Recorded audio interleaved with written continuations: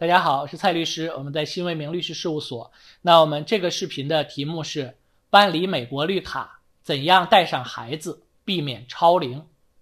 那我们知道呢，很多人办理美国绿卡，他的目的呢，就是说，呃，给孩子一个更好的发展机会啊，可以在美国上学、工作，有事业的发展啊。所以很多人很关心，说啊，我的孩子现在十二岁了、十五岁了、十八岁了、二十岁、二十五岁，我能不能带上孩子全家来移民？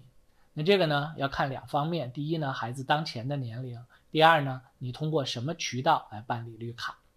那比如说，如果通过投资移民，那你可以考虑让孩子作为主申请人；如果通过 EB 一类别啊，那么你呃排期排到可能要一年多；如果通过 EB 二或者 EB 三类别排期排到可能要四年多。怎么样确定孩子是否超龄呢？超龄是说孩子达到二十一岁。但这个二十一岁呢，呃，不是生理上的，就是还是计算出来的年龄啊。具体来说呢，在你的申请达到某一环节的时候，看这个时候孩子的年龄。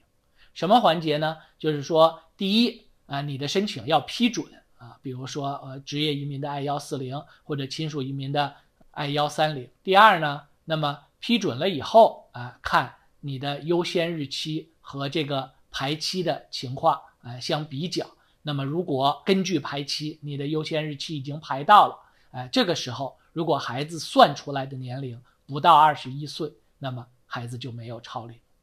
那举例来说，啊，比如说当前现在这个月我的申请批准了，排期正好也排到了，那孩子呢，比如现在是二十一岁零三个月，那是不是就超龄了呢？不一定，因为呢，你前面的这个申请从提交到批准的时间。还可以从孩子的实际年龄里面减去，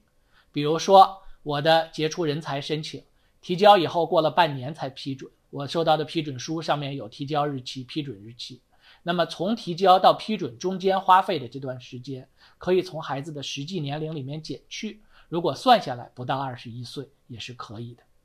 那么前面讲到呢，呃需要看排期是否排到，那我们知道呢，排期分成表 A 和表 B。表 A 呢叫 Final Action Date，表 B 叫 Filing Date。根据表 B 更容易排到，可以更早的排到。这个呢是美国移民局最近的一个变化，一个重要的政策变化。现在呢允许通过表 B 的排期来确定孩子是否超龄。CSPA Child Status Protection Act，啊，这个是对 CSPA 解读的一个重大变化。这样呢可以让更多的人避免超龄。一般来说，如果你现在孩子，比如说十八岁，呃，十九岁，你现在开始办理杰出人才移民，一般来说，如果顺利批准，可以避免孩子超龄。如果你现在孩子十五六岁，那么你现在办理 NIW 国家利益豁免，呃，或者 Perm 申请移民，一般来说很有机会可以避免孩子超龄。如果说孩子，已经超龄了呢，那么应该怎么办呢？比如说我这个申请孩子已经二十多岁了，或者等排期排到的时候，孩子算出来年龄也超过二十一岁，那么你还可以接下来给孩子办理亲属移民，那孩子就不能和你一起拿到绿卡了。但是呢，你拿到绿卡以后，作为绿卡持有人，可以给你的成年子女、成年的未婚子女办绿卡，当然这个要几年的等待时间啊，但这个是可以的。那么这里讲到的是未婚子女。那如果后来孩子结婚了呢？孩子在拿到绿卡以后结婚，还可以再给他的配偶办绿卡。嗯，有的媒体叫 chain immigration 啊，这样一个链锁啊，这么一个传递。那举个例子，我们知道呢，比如说，呃，这个张涵之的女儿洪黄啊，是吧？她留学美国的时候和一个美国人结婚，拿到了绿卡。后来她离婚和陈凯歌结婚，那么又给陈凯歌办了绿卡。后来陈凯歌和他离婚，和陈红结婚，又给陈红办了绿卡。那么可以像这样的传递。如果说我在美国，孩子在中国，或者反过来我在中国，孩子在美国，那我办绿卡能不能带上孩子呢？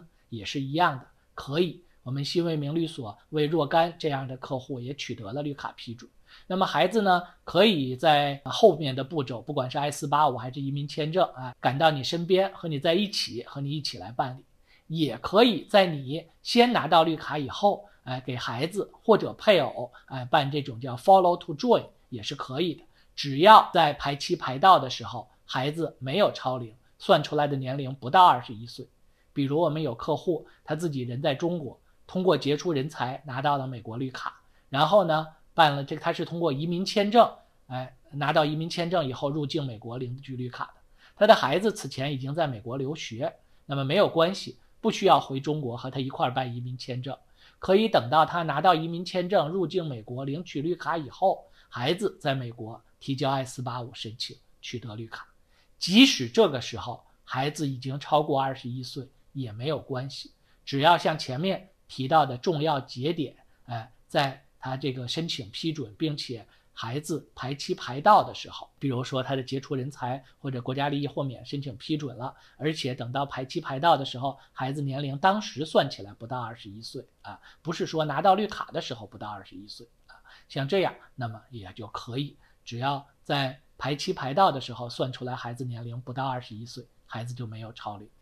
好，有更多问题可以联系我们，谢谢。